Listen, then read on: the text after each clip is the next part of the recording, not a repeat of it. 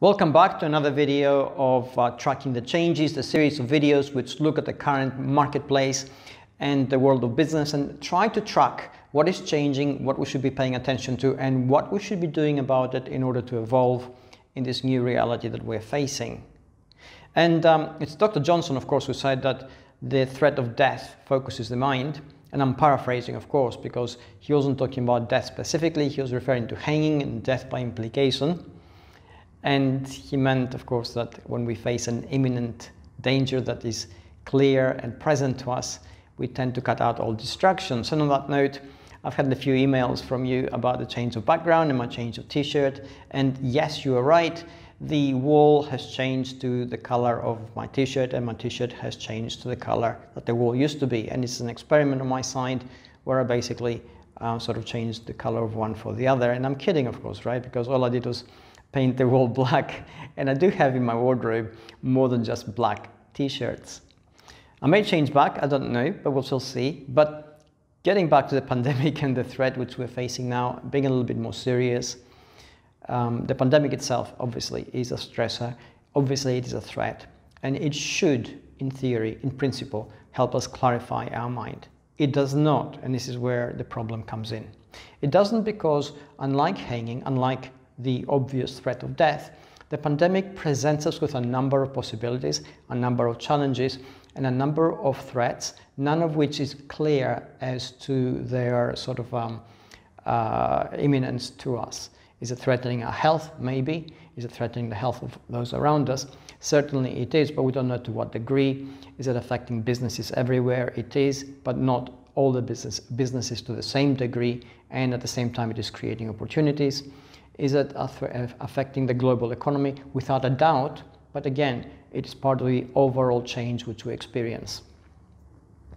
Taken in their totality, all of these things basically become distractions which are hard to ignore, which means that from a cognitive perspective, we begin to then become confused. We're not sure where we should be paying attention. We, we're not sure where, what we should be focusing on. And this is where the problem comes in. Now, here's how we actually deal with this. Sure, the pandemic is a global threat. Sure, it is also a local threat. But to each of us, to each business, it does not manifest in exactly the same way. So what we need to do is actually apportion a number or a weight to the scale of the threat which we face, whether personally or professionally.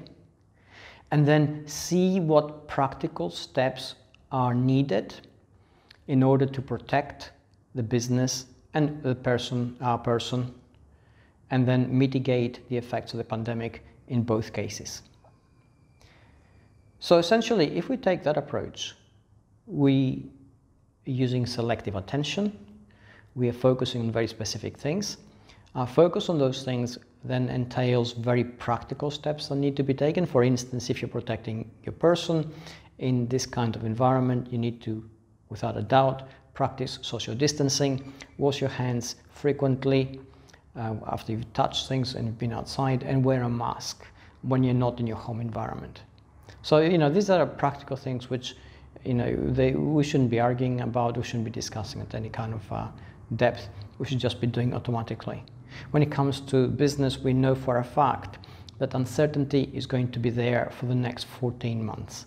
There's going to be economies going up and down. We're going to have um, lockdowns at a local level, lockdowns perhaps on a national level. National supply chains are going to be stressed. The uh, people's buying power is going to, to undergo some kind of um, uh, pressure, and that has an impact on every kind of business. So if we just take that one thing, that uncertainty is there for the next 14 months, then we should be trying to actually control the things which we can control over the time period whether it's you know uh, loans which need to be managed or or, or uh, rents that need to be discussed or any kind of um, sort of pivot of the business itself. So it brings in money. So that should be the approach we should be applying in order to deal with a pandemic that is definitely putting every one of us under pressure. And we need to be smart in order to cut out the distractions lessen the cognitive load that it generates, and actually focus our minds on the practical steps which will lead us to the next phase of what is coming. I really hope this helps. Don't forget to subscribe. There'll be more links in the description below which will take you to, to greater depth. Take care. Stay safe.